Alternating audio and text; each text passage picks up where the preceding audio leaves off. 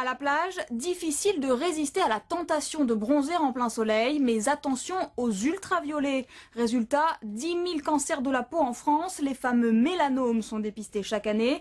Au CHU de Nice, un nouvel appareil facilite le diagnostic pour les médecins. Explication, Alice Rougerie et Jacques Sauffer. Une sieste au bord de l'eau en plein après-midi, rien de pire pour épuiser son capital soleil.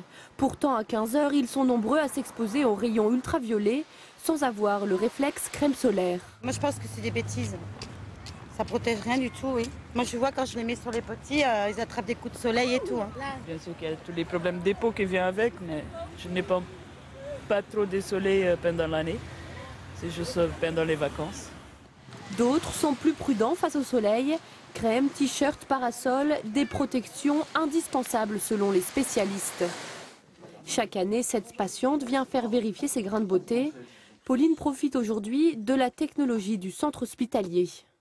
C'est mon dermatologue qui m'a dit, en voyant mes grains de beauté, qui m'a orienté et qui m'a dit de venir consulter ici. Un bon réflexe selon le dermatologue, plus le dépistage est précoce, plus les chances de guérison sont élevées.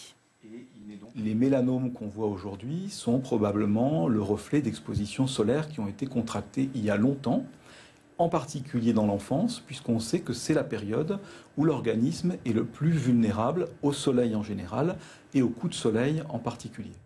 L'examen ne dure qu'une vingtaine de minutes. Les grains de beauté sont passés à la loupe, grossis 700 fois.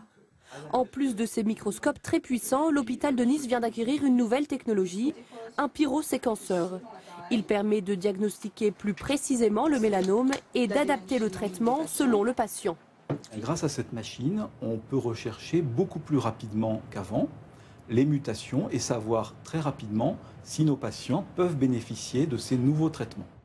Chaque année, au centre hospitalier de Nice, des centaines de mélanomes sont diagnostiqués, malgré les nombreuses campagnes de prévention.